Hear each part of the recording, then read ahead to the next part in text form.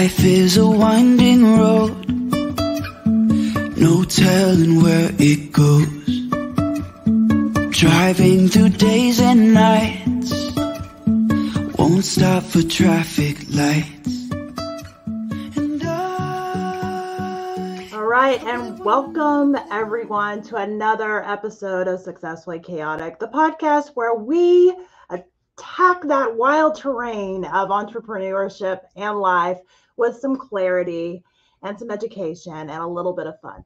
And today I have an amazing guest with me. I'm going to let her share with you about a little bit about what she does and a little bit about who she is. And then we're going to get started with this conversation about breaking free I know this is a journey that I've been on the last, I feel like forever, but I've been really kind of breaking into kind of my own my own self right and um, i am excited to have this conversation because there is a lot of people right now out there that are on this journey and maybe you're at the beginning of this journey maybe you're in the middle maybe you've come out of it and you're like never going back there again where i have to wear that mask of perfection but i'm going to let my guest jump in here and share a little bit with you about who she is and what she does. Yeah, thank you so much for that. Um, I'm really excited to be here um, for you guys listening. My name is Nicole Poulton. Um, I am a recovery specialist. I I help coach people through addiction and recovery, and this is something really personal to me. I was an addict for about six years, and you know, coming out of that and having to completely rebuild your life is is really challenging and especially doing it by yourself and doing it the right way um, i think that a lot of times people can struggle with getting sober or you know changing their habits and making them last. You know it's one thing to make a change but it's another thing to actually make it last long term.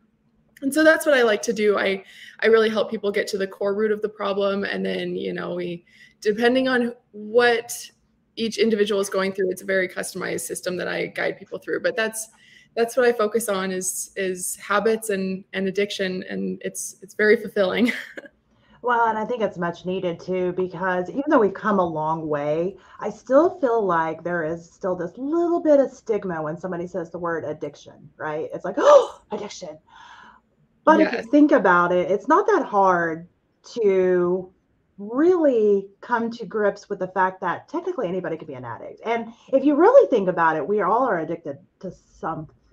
Well, yeah.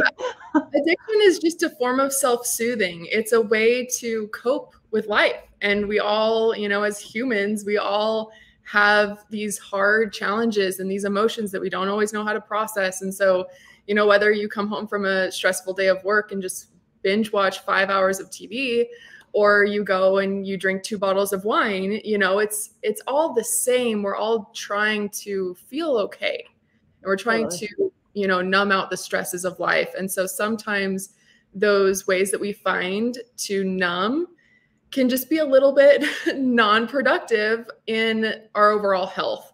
And so i think that you know we all have these ways especially with technology nowadays. It's so easy to just numb with social media and our phones and you know there's so many vices that we can choose from.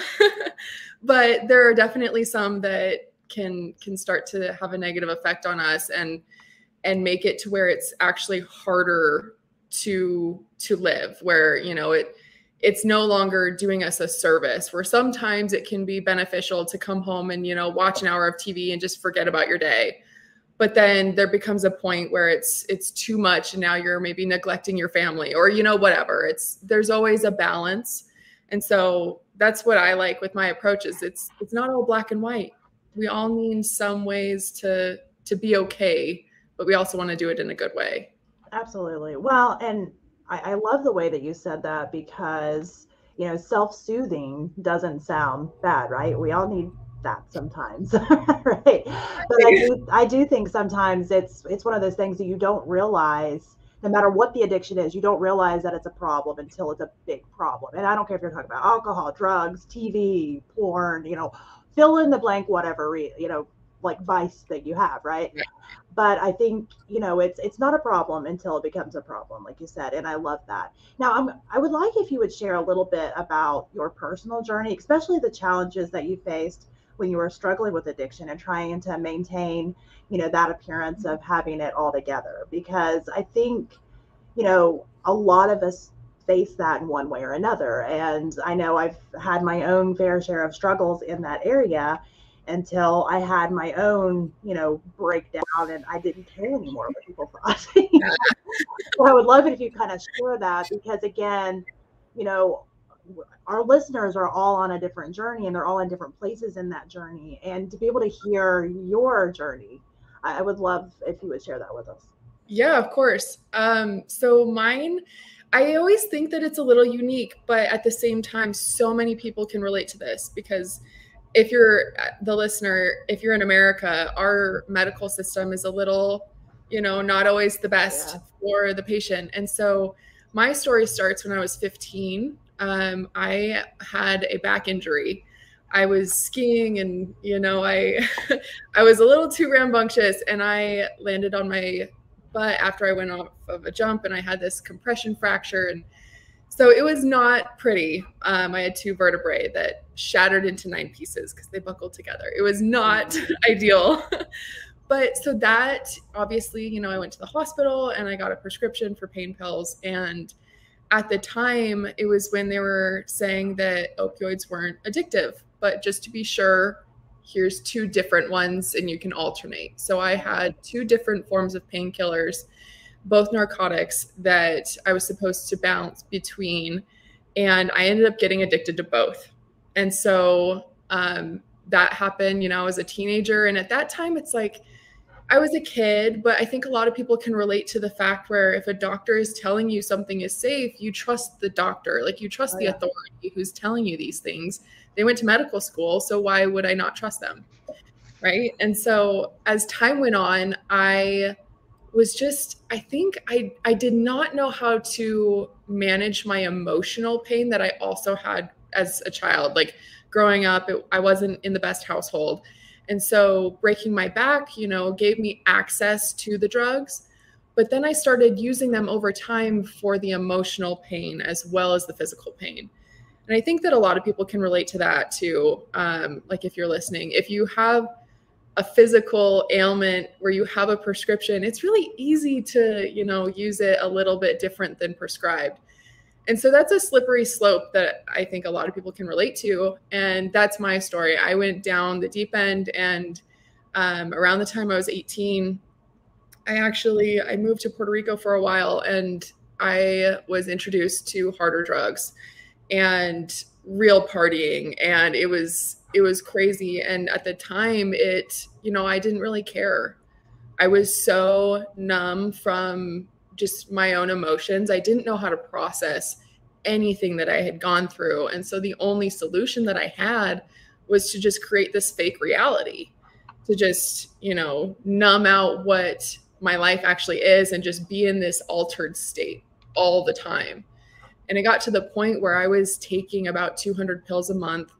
And it was just you know way too much and got to the point where instead of just popping pills i was crushing them up and you know snorting them. And you know i don't know how in depth you want me to go but it no was, i'm fine. I mean this is your journey and this is your story. Yeah. and again i think part of this conversation is so important to have as much as you're willing to share because it takes away the stigma because you know it could be pills it could be you know alcohol. For me it was busyness. I hid in my busyness. Yes i would disassociate in my busyness. The the, the when i was busy i didn't have to think about anything that i didn't want to think about right? Because i was too busy to think about it. You know but the problem is is no matter what your you know quote unquote drug of choice is it still can be harmful because you're not really dealing with those underlying issues. And i think that that is why you know, it's it's important to kind of share these things because I, I have not actually had an in-depth conversation with anybody that's being upfront and honest that hasn't had some level of this, you know, and you know, again, my, mine was busyness, but it's just as destructive, just as destructive. yeah, it's it's wild how like in my eyes, like when I'm working with my clients, I tell them there is literally no difference than coming home and, you know, watching TV versus like shooting up heroin. Like, obviously, from a legal standpoint, there is yeah. a difference. And from a health standpoint, but from a functionality standpoint, what you're trying to accomplish is the exact same. And so for me, I'm an open book. So when I was in Puerto Rico, I started doing cocaine, and that's where things really went off the deep end. And I realized this is a problem. Like, this is, it was an obvious line that I had crossed. Because beforehand, for the first few years, you know, it was a prescription, and people were like, doctors were telling me this is okay. Like, it's, you're never gonna run again. You're never gonna be pain free again. Like, just keep taking these pills. But the cocaine, it was like, this is obviously not right. Yeah. And getting off of that, it's it's so in, insanely important to have the ability to have a support group or people or someone to be able to talk to and someone who actually wants your best interest at heart like they actually care about you. And so that's what got me off of the cocaine is I actually moved back to be with people who are better influences and but I was still doing you know my pills because I did not actually assess what the real problem was deep down and it wasn't until so I started my pills when I was 15 I overdosed when I was 21 on my 21st birthday um, I had some friends go to Vegas and we were like, you know, partying in Vegas and everything was great. But in my mind, it's like, okay, we're going to we're gonna go, really go for it. We're gonna party. And so um, for the first time, I really started mixing my pills and alcohol. And by the time like we, we were gonna go dancing and you know we all Uber to the club, and by the time we get to the club, the bass of the club was so loud. I was feeling so sick. I'm just like I have to go home. Like I have to go back to the to the hotel. So they all go dancing. I go back to the hotel and I'm just overdosing in the bathroom. And I come to this, like, it was an out of body experience. I had this epiphany of, like, what am I doing? Like, this is not my life. I choose something else. And it was a profound experience. It was the worst I had ever felt, but the most empowered I had ever felt. That was a Saturday night. Sunday, I was, you know, really not feeling good, just kind of yeah. trying to be okay, trying to make it back home. Monday, I was clean. By Tuesday, I was using again. And that's when it was like, this is a real problem because I was now alone in my apartment. It was a Tuesday at like 9 30 in the morning, and I'm snorting my pills again. And I'm like, okay, this is different. This isn't a party in Vegas. This isn't celebrating a, uh, you know, a birthday or something. It, there's no celebration here. This is my life, and this is not okay. And so from that day, that was the last time I ever used, and it would. What helped? What happened to me is I got enough leverage, enough pain was then associated to actually using versus the pain of not using and that was the big trigger for me to make the shift. So anyone listening, if you've got, you know, any kind of vice, once the pain becomes more significant to keep going down the path you're going down versus stopping and making a change, that's when it's, you know, quote unquote easy to make that shift. And so what I love with my coaching is instead of waiting to hit rock bottom, it's not like I force you into rock bottom, but we really bring up the pain that's causing you to feel by doing what you're doing and so you can make that shift on demand because you know like i had to go through years of of creating this yeah. false reality and not feeling any emotion because when you when you numb pain you also numb all the joy that's possible to have like you're numbing everything so instead of you having to do that for as long as it takes until you can just by the universe to give you a sign to change, it's like, why not make that change intentionally? So it's, it was crazy. And then once I got clean, it was, I mean, it's not easy overnight, but it was definitely, um, you know, easier than using again for me. Well, and I mean, it sounds like, you know, your recovery story is obviously it's you were able to kind of come to that understanding. I know I've heard different journeys of different people that I actually know very well. And, you know, some people's recovery journey isn't isn't that, I guess, um, like clear right right away. um, and I mean, I think that that's a blessing, right? But I do think that, you know, sometimes it's not clear you know sometimes it it's going to be very vague and you have to kind of look for it but i love i love that you were talking about you know when you work with your clients that you you know kind of help them come to the clarity and find that clarity in their own life before they hit the rock bottom because obviously that's the goal now for many of us myself included i had to hit rock bottom because i'm i'm, I'm stubborn right i always said i'm that two before across the head type of stubbornness i had to hit complete rock bottom before i was like ah this is a problem, you know. Mm-hmm. Um, but for people that aren't quite to rock bottom, there is, you know, kind of ways to be able to find that clarity and overcome whatever addiction or you know even if you're not classifying it as an addiction because i mean again a lot of times you, people people say addiction and they automatically go to drugs or alcohol um, however it's, it's just that's what an addiction is. It's just a negative habit. Yep. It's you well, and I and I love I, I love that because it is it is a, it's a bad habit. It's a habit that is allowing you to hide from what's really going on in life. That's mm-hmm. allowing you to disassociate. Um, because I think that many of us like say disassociation, right? I I still will disassociate from time to time um, and that doesn't mean it's an issue at this point, but I have disassociated so long in the past that now I'm very clear about, okay, well, like you mentioned earlier, sitting down and watching something for an hour, fine. Sitting down and not getting up for a week, not fine, right? So you have to kind of figure that out based on your own life, your own goals. Um, and disassociating is it's all just a form of protection. Yeah. You know, that's your brain's method to protect you. And same thing with our habits. We pick up our habits because it it serves us in some way like we all another thing that i teach my clients um, the six human needs we all have the same six human needs but we're all getting them met at different in different ways and in different priorities so when i was you know using and in my drug addiction i was getting a lot of like certainty from using because i knew if i were to use i would feel better there's also variety because as I use, it's a different experience. There's significance because I feel, you know, special and cool because I'm using drugs, which is the dumbest thing ever. But then I also feel like love and connection because the people that I'm around are also using drugs. So it's like I'm getting all these needs met, but it's all negative. Yeah. And so the goal is to find okay, what are the needs that are being met by this negative habit, addiction, or whatever? and what are other ways that we can get this need met in a more positive way because we i mean we're like 60% habit as humans we all default to these habitual routines absolutely and so we have to be intentional about what habits we want in our life because without being intentional we just default to the easiest path to feel good no 100% and I would love it if you would share maybe some specific strategies or insights that you found like particularly effective, whether it's with you, your clients, or both. Yeah. So I create a method. I was my own first client. Like I had to learn, you know, I was in the trenches doing it by myself the hard way.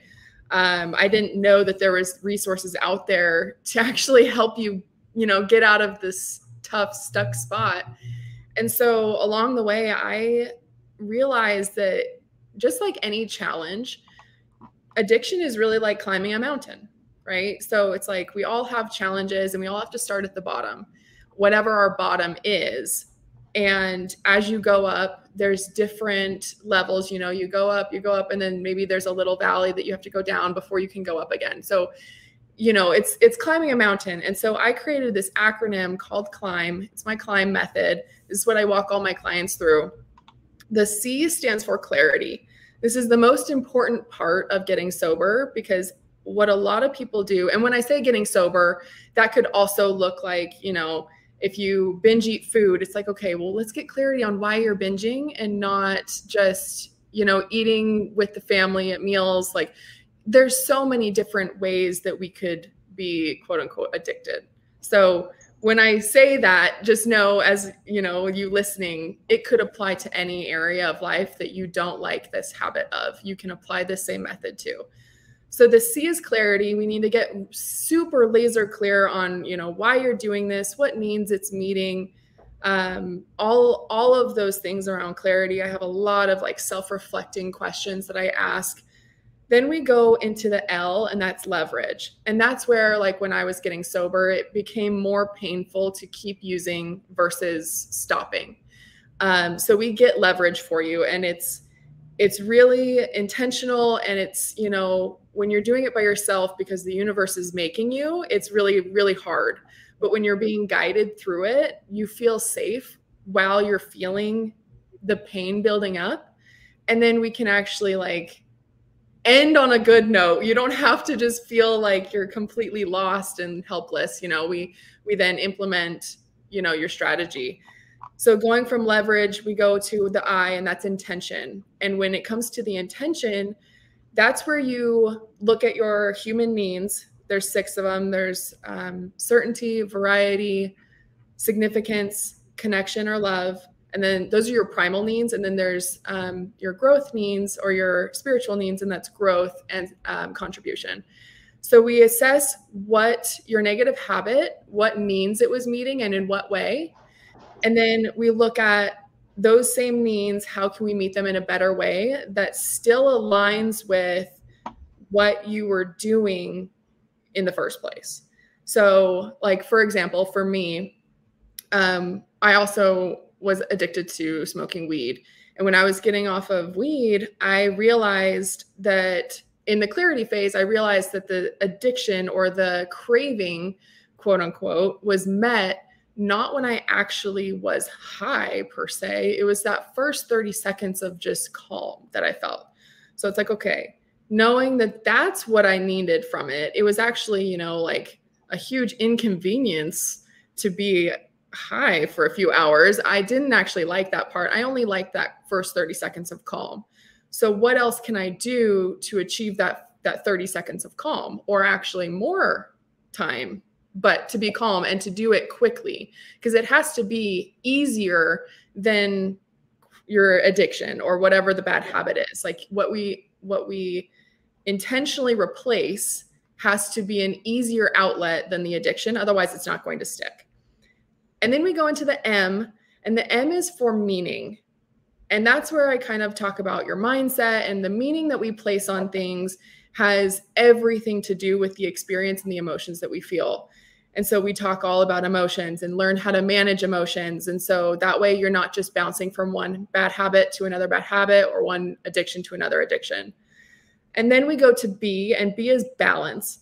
Balance is really because we're all so different and everybody's definition of sobriety is extremely different. So, and when it comes to sobriety, it's like if your problem isn't drugs and alcohol, if it's, you know, watching too much TV and that's the the problem that you're trying to go down, it's not all or nothing. You know, like for me, it's all or nothing with cocaine. Like I cannot do any cocaine. But I don't expect you to follow me exactly and never watch TV again. Yeah you know same thing with if you're a binge eater i don't expect you to just never eat. That's not gonna that's not gonna work. So we have to look at what is the balance ratio that's right for you specifically and then apply that and keep it going for your life. Because realistically the goal is not to you know the goal is to create a life that you don't have to run from. You don't have to fight. Trying to get sober based off of willpower alone it's like fuel. So it'll just burn up really quickly so even if you can, you know, stay sober or, you know, not watch TV for a month, it's like, well, that's really great. But it might not last long term if you don't go through all of these components and get the clarity as to, well, what are you really running from? Like, what are you trying to avoid? What emotions don't you know how to process? And go through all of these things to where you find out like okay well sometimes i do numb because i'm really stressed and that's okay and i can watch this much tv and that makes me feel okay versus if i watch this much now i feel like a failure or whatever. So we really tailor it to the specific person. And if you're okay with this i have an ebook on my website. Um, i would love to give away to the audience oh, for free. absolutely absolutely. Awesome. Yeah it, it really kind of goes through these same points and descripts how they can walk through it and kind of help themselves through it a little bit if that's what they need. But I, I'm really proud of this method. It's been working really well. It worked for me. I'm five and a half years sober. I'll be six years in January. So I mean, if it's working for me, I can guarantee it'll it'll work for almost anyone if they can actually apply it and and get the clarity they need. The clarity is really the foundation. Absolutely. Well, first of all, congratulations on your sobriety because I mean, I know that that takes a lot of work and I'm sure there was lots of struggles along that journey. Um, you mentioned about the ebook. I'll make sure and get that link from from you. And if you're listening to this on the podcast, the link to that ebook will be in our show notes. Um, I do want to kind of circle this to our like our audience. Mm-hmm. It, it mainly consists of you know women and moms and entrepreneurs and I know this message that you've been saying probably resonates with most of them on one level or another because, you know, when you're balancing just life and business, it's a lot of stress and pressure. And I know you mentioned stress multiple times during this conversation.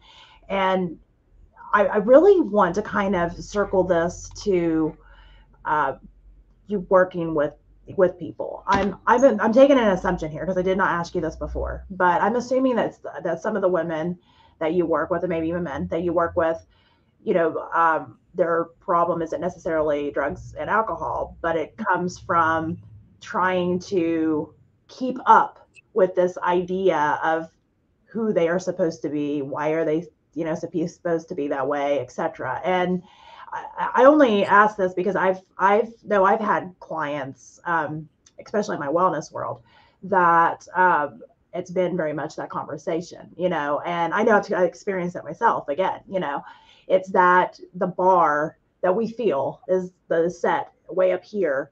That mm-hmm. sometimes we make it, and sometimes, you know, if you're like me, you're it's a hot, fiery mess. And you know, I think the idea that we're supposed to show up 100% every single day, if we think about it, is actually completely ridiculous. But yet we beat ourselves up when we don't. And I kind of wanted to circle do you work with people on that on, on a regular basis, or, you know, is it more geared towards something else?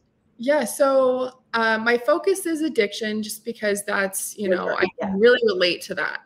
Um, but really, everybody has habits. And so it can it applies to everybody. And i do really like working with people who you know it might not be an addiction but when it comes to like you said keeping up appearances keeping up with what their expectations are what they feel the world has expectations on them it can get a lot. And i think a lot of people don't realize that when they have these expectations that they feel are being put on them in one way or another, they are self soothing in a way Absolutely. that is not beneficial. And so that's where I focus on, where it might not be drugs and alcohol, but there is some way that that self soothing is not helping them with reach their full potential.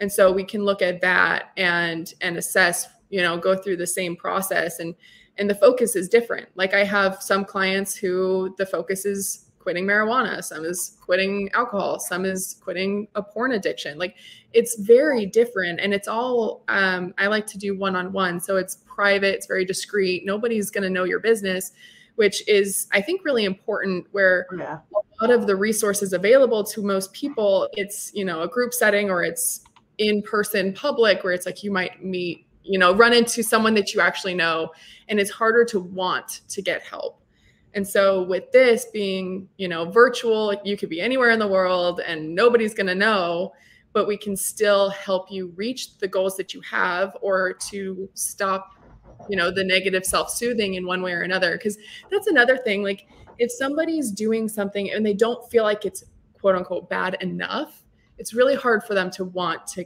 go get help.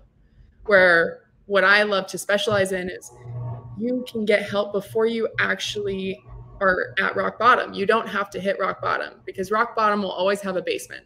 Oh, there's yeah. always a deeper level. And so once you recognize that there's a problem, it's like, okay, well, what do you want to do? Do you want to keep going on this path for a few years until you can't take it anymore? Or do you want to nip it in the bud right when you recognize it, you know, an easier shift and build the life that you actually want to be living?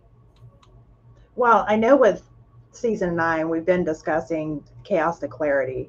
And I know that your journey definitely fits into this theme. And, you know, just emphasizing the transition from an inner chaos to clarity and balance is again something that no matter what your vice is, like we've said several times in this episode, is something that's completely achievable. Let me ask you, what advice would you give to empower women to prioritize their well being and mental health, especially if they're in a demanding role? And, you know, that would allow them to maybe start to step out of these bad habits, no matter what it is, and into more clarity.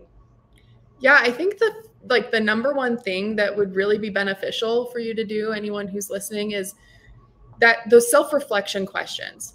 To I I am biased. I really like journaling. I think that that's a really great way to get your thoughts out of your head. So if just a couple minutes a day or you know a half hour every week you can just kind of put all of the stresses that you feel in in writing then you can see it and understand like okay well why am i feeling these stresses? Who's actually putting this on me? Like is it a boss? Is it my family? Is it myself? And realize if it's myself you can give yourself some grace and yeah high standards are amazing but at the same time it's not great if it's beating you up and beating you down to where you're not going to be your best week over week giving yourself the grace every day that if you're showing up today with 20% that's fine. Just give all of your 20%. You don't need to give 100% every day. That's not realistic. and we're going to have bad days and to understand sometimes we we have bad days and that's okay. The goal is not to never have bad days. It's to shorten the length of that bad time. So instead of a full, a full day, it's like maybe it's a couple hours, maybe it's an hour, maybe it's 30 minutes. It's like how fast can you change your state? How fast can you change your mindset into getting out of that? And and another thing is like, we will always have problems.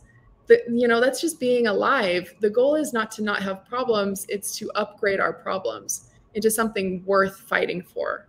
So something like, you know, getting rid of your vice, whatever that may be, food, drugs, alcohol, whatever, but that's a problem that's worth solving because then once you solve that problem, you're going to upgrade to a much better problem. You don't have to worry about you know having to fight this craving anymore because the craving actually dissipates when you when you solve the problem the right way so i really think that i mean i'm just so biased with journaling. It i have been writing books over here going through my um my recovery. It's like any emotion i'm feeling just to learn how to process it i actually have to see it in order to understand what i'm feeling. Because so many times we don't have emotional literacy. We don't have emotional intelligence.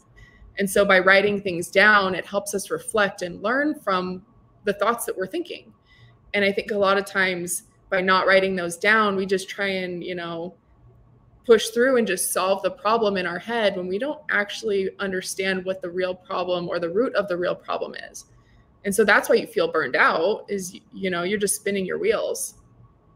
Absolutely. Well, and I know I've journeyed that journey many, many, many, many, many times. And I think a lot of our listeners probably have too. And I think you're 100% right. You know, being able to look at your problems kind of on paper, or I like to draw my, I'm a doodler, so I like to draw stuff out. And I, I'm, I'm very big on like the one word and little doodles and stuff, but being able to kind of get it out of my head and onto paper is has been something that's worked for me as well. And I love that. And I also love that you mentioned about, you know, um, kind of breaking your day up. That's something that I started doing a long time ago because, like, old Maria used to, you know, make my plan for the day, and then the first inconvenience that like threw my plan off, I'd be like, well, that's it, the whole day's screwed. It'd be like 9 a.m., but I I wrote off the whole day. That's it, it's ruined now, you know. And then I, so I had to kind of get my head wrapped around that, you know, I could break it into quarters, into hours, you know, and for me, that helped a lot because, you know, if something didn't go the way it was planned, it didn't wipe the entire day. It might have just wiped that half hour, that hour, that quarter, mm-hmm. whatever. And, you know, that really helped because I love plans. I am like a planner uh, fanatic and I liked my little pens and stickers and, it, so it wasn't only like ruining that, but it was ruining my art, right? It was ruining my calendar art. Um, which still you know a funny a funny um, exercise that I've heard.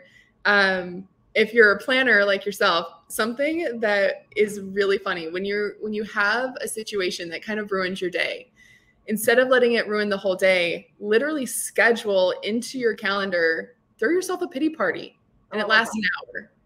You know, have your pity party. That is totally fine.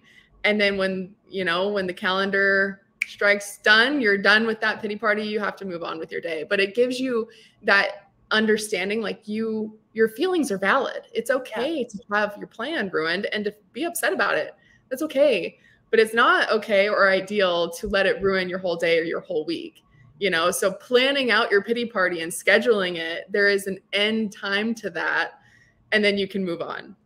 I love that. I, I think that's perfect. That's, I mean, living a positive life doesn't mean that you're positive 100% of the time. And I think that's kind of, there's, there's this, there's this i guess thought process that oh positive vibes positive life that doesn't mean that like today doesn't suck you're going to have lots of today sucks you know no matter how much you try to gloss it with glitter and all that kind of stuff there's going to be days that's going to be like well this really sucks and yeah. I try to find a glimmer, right? Like, okay, well, I'm going to sit and kind of bask in the sun. The sun feels great. Today sucks. Sun feels great. Yeah. You know, I think that that is something that you know, a lot of people are kind of like stepping into this positive life, positive vibes. They're still kind of, I struggle with it first. I'm like, well, I'm positive about that. you know? There's ups and there's downs. Yes. You can't get rid of the negative emotions. They're gonna be there. It's just how long do you want to stay there? Yep, absolutely. Well, and I love that you said feel your uh, your feelings because your feelings are valid and the more that you try to sweep them under the rug they're going to come out at some point anyway yeah. so you might as well go ahead and feel them right now. Yeah exactly. that. yeah that pressure will build oh, and oh, yeah. you can't hold it forever. Yeah well can you share with people where to find you? And i'll make sure that the link to the ebook and everything is in the show notes but that way if somebody's wanting to kind of connect with you or follow your journey they'll know where to find that yeah, well, if you want to schedule a call with me, that's best to do it through my website, and that's just nicolepoulton.com. Um, and then on all of my social media, I'm nicole.poulton. And, you know, that's Instagram, TikTok, YouTube. Um, yeah, to follow the journey. But to book a call and to get the ebook, that will be on the website. So nicolepoulton.com. All right. And if you're listening on the podcast, you'll be able to find all of those links in the show notes. And I really am glad that you all joined us today on this episode. And I want to thank my guests for joining me today. This is yeah, it's been great. I mean, it's really this your story just really, like I said earlier, really wraps into our overall theme of chaos to clarity. And I want everybody listening to remember that it's okay to embrace the chaos of life because it's just part of life. And in the end, it's what makes our path unique and beautiful. So stay tuned for more episodes of Successfully Chaotic as we continue to explore the highs and lows of life and entrepreneurship. Until next time, we appreciate you. Life is a winding road, no telling where it goes.